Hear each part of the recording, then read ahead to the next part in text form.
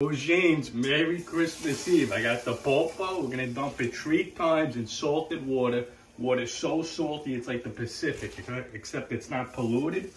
See this thing? It's curling up over here getting my fucking yearly workout in. We got a couple of woman. Let's go. I need a little film action. Got some uh, lemon, garlic, corks. They say it's good for the tenders.